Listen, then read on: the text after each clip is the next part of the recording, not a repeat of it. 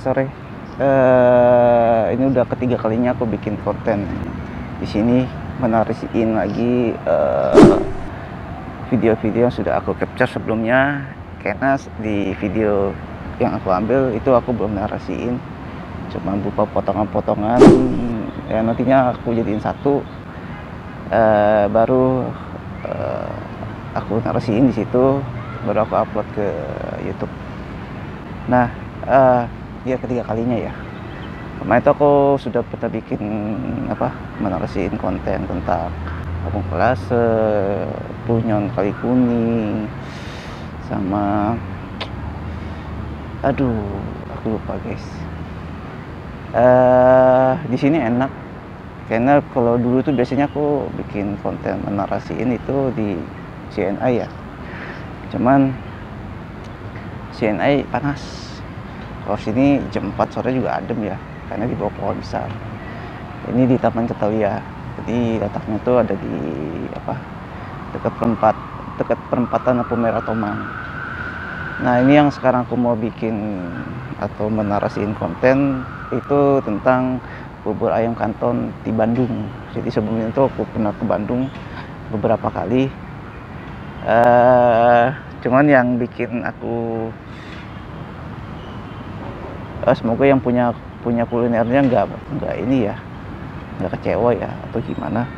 Bukannya apa apa tapi aku udah pernah sebelumnya jauh sebelumnya tuh uh, capture terus juga udah menanya-nanya mau interview sekilas pendek uh, dengan pemiliknya eh tidak bisa aku upload videonya karena datanya semua yang di handphoneku itu hilang jadi kejadiannya tuh uh, aku lupa deh tahun 2021 udah lama sih udah lama setahun lebih ada kali. Uh, jadi aku udah jadi emang ke Bandung mau bikin konten gitu. Udah aku capture semuanya. Aku bawa beberapa memori. Nah saat itu tuh saat mau pulang di Sari mau pulang tuh malamnya aku pindahin ke OTG uh, OTG ke flash disk terus kok nggak bisa ya? Eh bukan malamnya. Pada saat itu aku lagi di ini guys Cicalengka. Wah kok nggak bisa nih? Ya udahlah itu ini cuma kepindah separohnya apa gitu. ya udahlah. Nah nanti malam pembesokannya aku lanjutin lagi gitu. Besokannya deh ya pas perjalanan pulang aku singkatku tuh aku di Karawang. Aku pulang dari Bandung tuh naik motor jadi perjalanan tuh pulang pergi naik motor ya. Di Karawang aku pitain wah saat aku mau pindahin loh kok OTG nya flashdisknya nggak kebaca? Terus kalau apa? Wah aku udah mulai curiga nih pak OTG nya gitu ya. Nah, aku mulai kesel karena OTG nya itu aku baru beli juga. Aku baru beli udah rusak gitu. Nah pas sampai di rumah pas aku coba pakai flashdisk lain OTG nya bisa. Wah yang flashdisknya gitu. Aku colok di komputer nggak bisa flashdisknya nggak nggak kebaca. Terus aku coba pakai flashdisk yang lain bisa kebaca. Wah, terus aku colok lagi flashdisk itu. Uh, jadi file-file yang udah aku pindahin ke flashdisk itu toto nggak kebaca tuh. Terus aku klik properties itu tulisannya 0, 0 bytes alhasil singkat ceritanya dengan berbagai cara nggak bisa. Uh, aku coba ke mangga, mangga 2 gitu balikin data yang bisa balikin data mintanya 500 ribu. Wah 500 ribu mendingan aku balik lagi ke Bandung berjalan-jalan lebih puas lagi. Terus eh, salah satunya yang ada di itu adalah konten tentang bubur ayam bubur ayam kanton. Oh, itu hilang. Wah parah bubur ayam kanton itu eh, letaknya tuh ada di Jalan Peta. Itu aku udah beberapa kali dua tiga kali deh aku makan. Kalau misalnya aku ke Bandung tuh ke arah Pangalengan atau ke Ciwidey itu pasti ngewatin tuh. Uh, jadi pasti aku mampir deh uh, buat makan. Soalnya itu salah satu uh, bubur yang menurut aku enak di Bandung uh, enaknya bukan cuma rasa tapi toppingnya tuh banyak. Banyak pilihannya. Uh, dari emping kerupuk telur eh, apa ada usus eh ada iya usus. Ya ada usus juga lah ada kulit ada hati ampla macam-macam guys.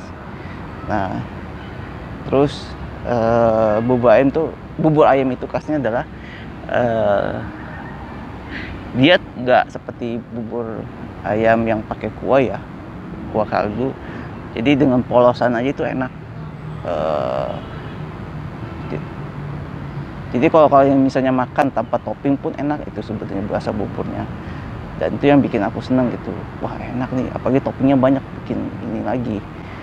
Eh, kayaknya udah empat kali deh aku lupa deh ya. Kayaknya lumayan sering deh pokoknya aku makan di situ. Lumayan sering. Eh, jadi letaknya tuh ada di Jalan Peta eh, pas di pertigaan menuju ke Jalan Muara Baru. Eh jadi kalau waktu itu tuh aku biasanya datang dari Jalan Astana Anyar. At- eh, yang udah aku capture tuh sebelah kananku itu Stadion Tegalega. Kalau misalnya aku berdiri eh, belakangku itu bubur ayam kanton. Eh, kananku itu Stadion Tegalega. Nah di kanan itu ada perempatan lampu merah. Kalau ke kiri itu ke Sta- Astana Anyar. Eh ke kanan tuh di lampu merah itu aku lupa nama nama jalannya tuh agak agak susah guys. Tapi itu bisa ke apa Es Cendol Elizabeth. Itu aku mengambil konten situ. Nah kalau di eh, ke kiri itu eh apa akan ketemu dua lampu merah lampu merah pertama itu eh ke ke kiri itu jalan Lewi Panjang. Nah, ke kanan aku lupa deh nama jalannya ya nama jalannya aku lupa. Nah kalau misalnya maju lagi nah lampu merah berikutnya itu kalau ke kiri itu ke jalan Kopo. Nah dari tempat aku berdiri di, di bubur ayam kanton itu lampu merah itu udah kelihatan ya cuman agak kalau di video itu agak tampak kecil. Nah eh ini aku nggak nggak lihat videonya jadi aku cuma berdasarkan ingatan yang aku capture ya. Uh, jadi uh, tampaknya itu seperti apa sih uh, gerobak dengan tenda itu guys. Uh, kesannya sih biasa. Cuman kalau kalian pas masuk ke dalam lihat banyak toppingnya tuh pilihannya itu wow. Dan aduh aku capture tuh menunya kalian lihat aja daftar menunya kalau menurut aku sih itu harganya relatif ya. Maksudnya kalau menurut aku standar lah. Nggak apa ya nggak mahal. Karena eh, aku ngomong nggak mahal kenapa? Karena itu ya rasanya enak guys. Aku tadi sempat lihat di Google Map ya. Ada ulasan-ulasan. Bilang wah kasih bintang satu atau bintang dua. Oh ini buburnya nggak pakai kerupuk. Ya emang ciri khasnya gitu. Kalau mau kerupuk bayar lagi ya tanpa kerupuk pun enak guys itu buburnya enak. Eh itu kerupuknya juga ada banyak pilihan ya. Salah satunya aku ingat kalau ada emping sama kerupuk kulit gitu ya. Itu ada pilihan banyak sih makanya aku senang di situ. Terus juga kalau kalian mau nambah telur tuh bisa telur ayam kampung. Terus di menu tuh di menu ya itu ada pilihan telur Maroko. Nah itu tapi aku lupa deh aduh aku lupa. Udah eh, waktu pas dulu aku bikin apa capture bikin konten tuh aku tanya nanya ke pemiliknya aku jelasin tuh. Cuman aku lupa. Eh, bahkan rekaman suaranya itu aku lupa. Aku nggak nyimpen lagi. Nah itu letaknya oh iya letaknya di pertigaan masuk ke jalan Muara Baru eh, di jadi di jalan peta sebelah kanan tuh pertigaan masuk ke jalan Muara Baru. Nah itu letaknya di depan Bank CIMB CIMB nah terus eh, seberang jalan tuh ada toko ban sama eh apa sih? Bengkel Yamaha ya itu ya guys. Kayaknya tadi aku yang itu udah aku capture eh jadi bubur ayam kanton ini kalau menurut aku tuh salah satu yang paling enak di Bandung. Eh yang aku inget tuh ada yang aku upload tuh bubur ayam gibas belum lama eh udah lama lah. Bubur ayam gibas Eh kalau menurut aku lebih enak bubur ayam kanton ini. Eh, harganya masih lebih murah bubur ayam kanton. Eh sama ada satu lagi bubur ayam di Bandung. Aduh aku lupa deh. Cuma aku inget aja itu ya. Terus oh yang jadi ciri khasnya juga rasanya uh, disebutnya bubur ayam kanton. Jadi pemiliknya ini pernah kerja di Cina uh, beberapa tahun cukup lama nah eh bapaknya ya aku lupa deh pokoknya jadi nerusin resepnya dari bapaknya gitu tinggal di sana terus kembali lagi ke sini. Nah salah satu kenapa sebut bubur ayam kanton karena sesuai sana uh, asal asal mulai resepnya. Jadi di sana tuh kalau di Kanton tuh atau di Cina bubur ayamnya itu terkenal uh, polos, uh, cenderung minim topping ya. Uh, kenapa begitu? Karena adonan buburnya aja udah enak guys. Jadi kalau pengen makan buburnya aja itu enak. Nah itu resepnya tuh hanya uh, sepemiliknya yang tahu gitu. Dan aku suka bubur ayam kayak gitu. Karena toppingnya tuh banyak. Pas saat di sana tuh aku makan aku tambahin dengan uh, apa kulit kulit terus aku tambah emping pokoknya enak lah kalau makan di situ guys aku seneng sambalnya juga enak gitu uh,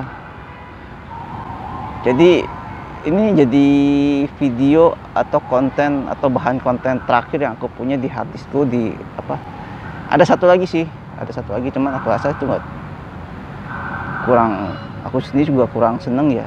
Itu tentang ini kuliner di Cibadak Cibadak kuliner naik. Itu kenapa aku nggak senang karena kulinernya itu eh, kebanyakan 90% lebih itu non halal waktu itu itu aku sempat bikin apa udah udah udah capture deh capture. Cuman eh, aku nggak merasa itu apa ya kurang senang lah aku gitu. Gipo juga itu saat itu pencahayaannya buruk guys. Kalian lihat aja deh aku bikin openingnya di pinggir jalan gitu. Kondisinya gelap uh, juga apa eh walaupun pakai ini ya. Apa? Mikrofon gitu. Cuman suaranya juga ya kayaknya di pinggir jalan raya gitu. Banyak kendaraan. Ya jadi aku menurut aku ah cukup aku taruh di sini aja lah. Sebagian aja aku ambil. Dan emang lewat apa mayoritas makanannya adalah ya emang untuk orang-orang Chinese ya. Walaupun aku orang Chinese cuman aku juga kurang suka gitu uh, dan ya bagi yang muslim lebih baik ya ke sana deh. Uh, ada sih nasi goreng gitu ya. Jadi tukang nasi goreng oh kalau kamu nggak suka makan B2 ini kita bisa pasakin kok yang bukan B2 ya bukan cara begitu ya. Uh, tetap aja itu sebutnya non halal gitu kalau menurut aku. Gitu. Jadi ya bagi yang muslim macam makan di sana lah. Aku aja kurang suka gitu di sana. Uh, apa? Aku termasuk orang yang makannya itu nggak neko-neko. Maksudnya yang lurus terus aja lah. Maksudnya kayak kayak swicket tuh aku nggak suka. Itu enggak lah. Oke, aku rasa itu cukup tentang konten bubur ayam kanton. Uh, di tadi tentang Cibadak kuliner yang nggak aku bikin konten tersendiri, aku cuma ngomongin sekilas di sini. Itu jadi bahan konten terakhir yang aku punya di harddiskku saat ini. Uh, ini tanggal 30 Juni 2022. Uh, nggak lama lagi aku akan bikin konten spesial uh, tunggu aja dan uh, aku nggak tahu mungkin mulai besok ya aku akan uh, mulai besok tanggal 1 Juli aku akan mulai mengupload uh, apa video yang aku buat ke Solo dan Jogja. Keren. Tapi ya dengan apa? Ada beberapa kekurangan sih. Jadi ya waktu ke Solo Jogja tuh ini teleponku rusak. Jadi ada beberapa video tuh yang suaranya kurang jernih ya. Tapi ya sudahlah daripada nggak bikin konten sama sekali guys. Oke makasih sudah menonton. Uh, Bubur Ayam Kanton ada di Jalan Peta patokannya tuh nggak jauh dari Stadion Tegalega nggak jauh dari perempatan Pumerawi Panjang terus uh, di dekat pertigaan Jalan Muara Baru depannya Bangsi IMB Bubur Ayam Kanton itu enak, keren.